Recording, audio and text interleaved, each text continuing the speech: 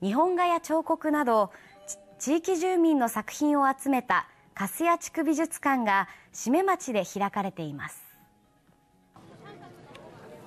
この美術展は粕谷地区に住む人たちの自己実現と生きがいユニークな芸術創造の発展を図ろうと古賀市と粕谷郡内の7町持ち回りで開催されているもので